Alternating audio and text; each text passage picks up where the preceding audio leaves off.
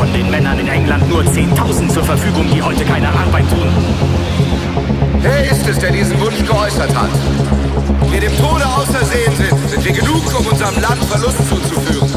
Wenn wir leben sollten, je weniger Männer es sind, umso größer wird ihr Anteil an der Ehre sein. Des Himmels Namen wünscht ihr nicht einen einzigen Mann mehr. Verkündet Westmoreland in meinem Heer, dass der, der einen zu schwachen Magen hat für diesen Kampf, sich absetzen darf. Bekommt ein Entlassungsschreiben von uns. Kronen steckt als Reisegeld in seinem Beutel. Wir wollen nicht in der Gesellschaft eines Mannes sterben, der die Gemeinschaft scheut. Der heutige Tag ist dem heiligen Christianus geweiht.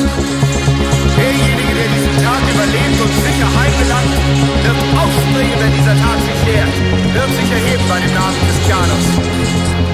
Wer heute am Leben bleibt und kommt zu hohen Jahren, ehrlich an eben diesem Tage ein Fest für seine Nachbarn und sagt, Freunde, heute ist St. Christianus. Dann streift er die Ärmel auf und zeigt die Narben vor und sagt, diese Wunden, die schlug man mir am Christianustag. Alles wird vergessen werden. Nur eines wird bei allem vergessen für immer in Erinnerung bleiben. Nämlich was er für Heldentaten tat. Und dazu vertraut die Alltagsworte. Heinrich der König, Bedford und Exeter, Warwick und Talbot, Salisbury und Gloucester.